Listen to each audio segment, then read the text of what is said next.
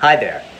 I've been out on a road trip to Pennsylvania, New York, and back for the past couple of weeks, and I got to do a lot of sightseeing. And I did come across some cast iron loot during my trip, including this little treasure, a Griswold meat grinder, or rather, a food chopper, because that's what they called it when they made it. I enjoy using a grinder for a whole bunch of different tasks in the kitchen, and I was surprised to find one made by Griswold. So now I get to clean this grinder up and bring it to working condition. Compared to some rusty grinders at some antique malls, this is in pretty good condition, so it shouldn't be too hard to bring this one back to life.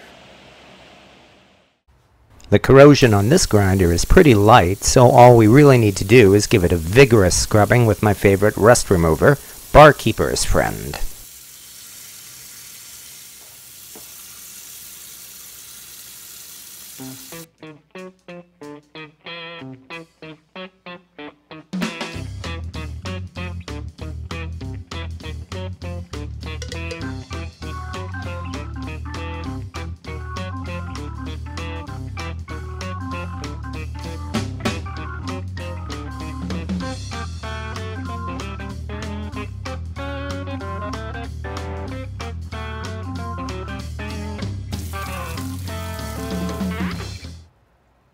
For the record, the patent for this grinder was granted in 1936, so this could date anywhere from the 1930s through the 1950s.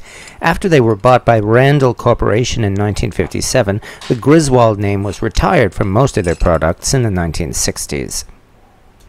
So it seems these pieces weren't even part of this set, and I think they came from a different grinder because their attachment is completely different and they don't fit. And now we lubricate the grinder with food grade mineral oil. You can get this stuff at your local market in the laxative section.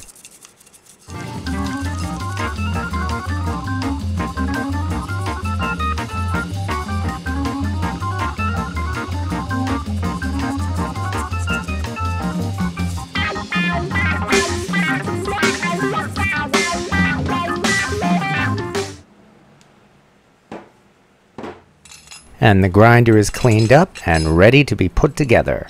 We just assemble it piece by piece and this grinder will be ready for use for the first time in decades. It comes with three separate grinding wheels and we're using the one meant especially for grinding meat.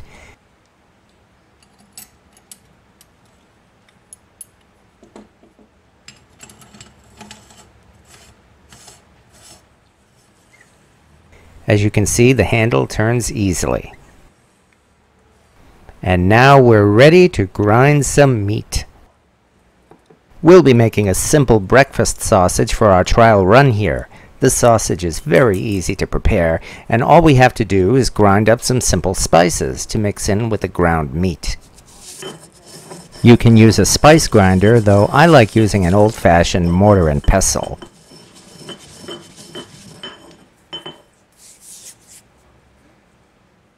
We break out a large pork shoulder and trim 3 pounds of meat. We cut off the extra skin and cut the pork shoulder into large pieces that will fit into the grinder. And here I learned one lesson. You need a good solid grounded stand for this grinder to work best. I didn't have any accidents or mishaps with the grinder attached to this little table, but next time I'll be using a more sturdy mount. Even so, it was very easy to grind this pork shoulder, and the end result was three pounds of ground pork.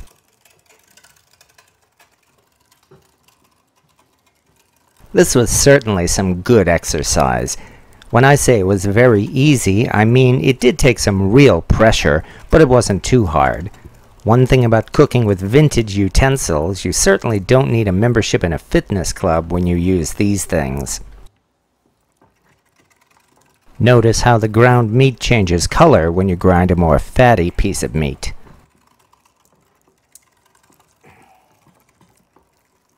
We're only using one pound for our sausage, and the rest of the ground pork is being kept aside for use in another dish very soon.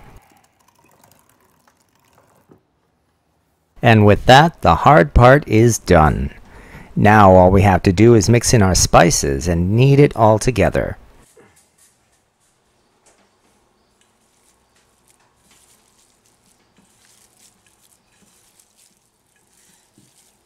And the result is homemade sausage, which looks and smells a lot better than the stuff you buy at the store. You can stuff your sausage into casings if you want, but here we're just shaping it into patties, just like burgers. The secret to a good shaped patty is to press it flat and wide before you fry it. A lot of recipes say to poke a little dimple in the center, but that's really not necessary if you make the entire patty flat and wide.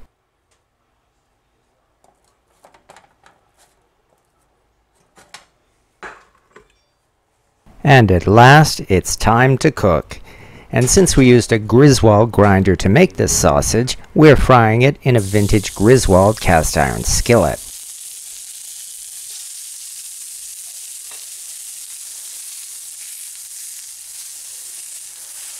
Since this is ground pork, we have to be sure there's no pink at the center of this patty. Simply cooking it for 3 or 4 minutes doesn't always produce the right result because every patty is shaped and weighs a little different. I find a good guide to flipping the patty is when the color change from cooking has spread from the bottom to the top of the patty. After flipping, we only have to wait about 2 minutes for the other side to cook. Then we flip it one last time and add a slice of cheese to each patty. It takes about another two minutes for the cheese to melt. Then we remove the patties and toast some English muffins.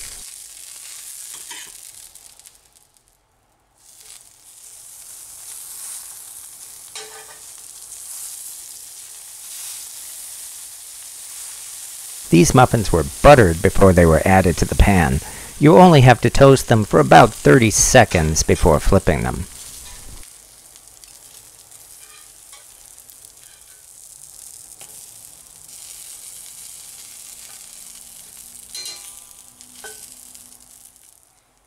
And the final step is to fry an egg for each muffin.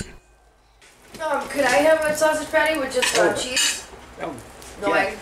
Oh, okay. Yeah. All right, then I'll just make one egg. Yeah, I just want. I, I have to be like, well, you know, I have like remove the egg. That's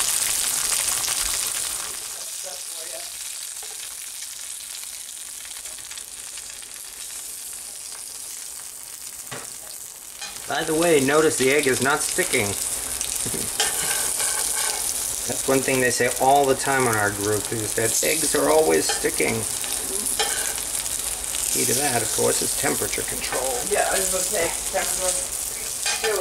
Nice and round.